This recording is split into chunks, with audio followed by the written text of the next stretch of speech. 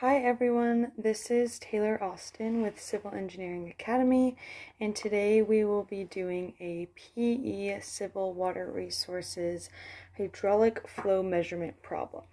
So the problem statement says the design of a new wastewater treatment facility headworks building must use raw influent flow measurement. The facility is designed to serve a new portion of a growing community with a mix of residential, commercial, and heavy industrial areas. The design engineer is to select the flow measurement device to be used. The following options are available where Q is in MGD or million gallons per day and H is in feet. So we have a 3 inch Parshall flume with this equation, 22.5 degree V notch weir with this equation, 4 inch Leopold Lagco flume with this equation, and a 60 degree V notch weir with this equation. Without exceeding the water depth of 2 feet above the bottom of the notch of the weir or the level floor of the flume, the best device to use with a peak hour design flow of 2.9 cubic feet per second is what?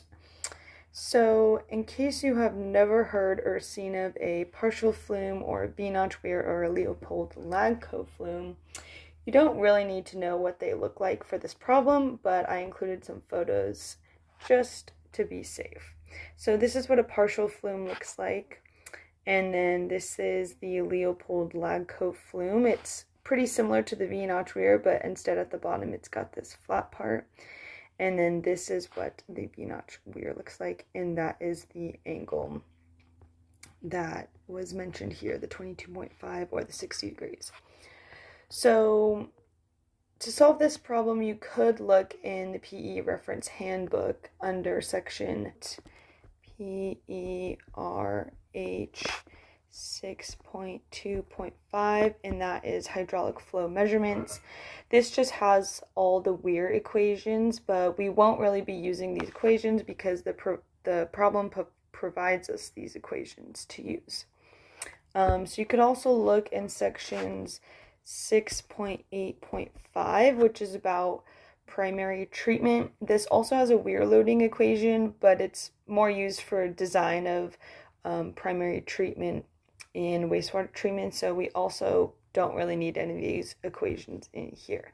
So we will just use our brain and engineering judgment to solve this problem.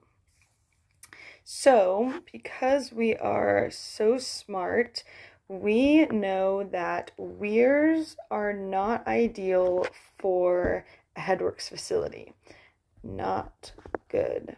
Because if we look in this V notch, if we have a flow that's going to have a lot of solids because it's wastewater, it's going to get all caught up in this V. And then that's going to restrict this height of the water flow.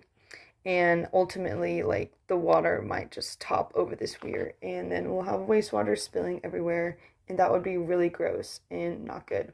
So, Based on that knowledge, we can immediately eliminate B and D for the V-notch weirs, and then we really only need to solve the equations for the Lagco flume and the Parshall flume. So let's go ahead and um, first start off with converting this design flow from cubic feet per second to MGD because that's what the equation wants. So we'll do step one, 2.9 cubic feet per second times 0 0.6463 million gallons per day per CF S, and this just comes from your conversion chart in the PE reference handbook, and we will get a Q equal to 1.874 mgd. Okay, perfect. So step two, we'll just plug this in to these equations and we're going to be solving for h because we want to know the height of the water over the flume and then compare it with our design water depth of 2 feet.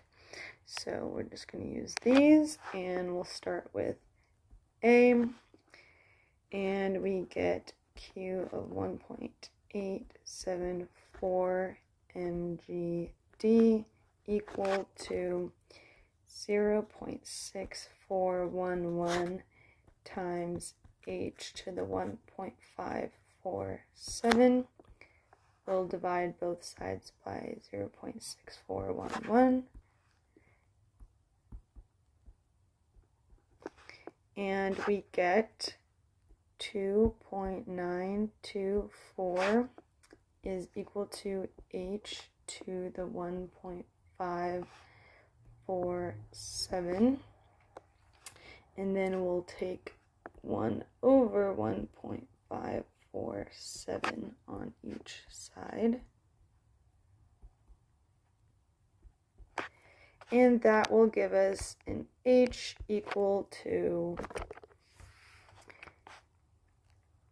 2.0004, which is barely above this 2 feet. So then we'll solve C, and we will get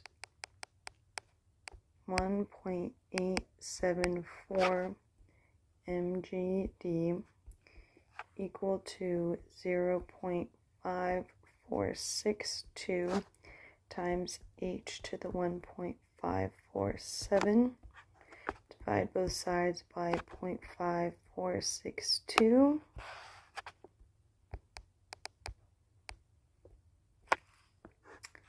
And we will get 3.4316 is equal to h to the 1.547. Take that 1 over 547 power on each side. And we are left with an h equal to 2.2187. That is greater than the 2 feet max water depth because we don't want to exceed 2 feet. So C will not work. And our answer is A.